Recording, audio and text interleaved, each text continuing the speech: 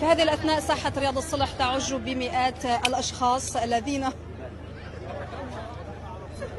الذين توا इसके अलावा फैसलाबाद चौक नगर में एक मेडिकल कैंप भी कर दिया गया है ताकि अगर कोई नाखुशगवार वाक़ पेश आए तो उसकी इंतहाई जो इब्तदाई ट्रीटमेंट है वो भी की जा सके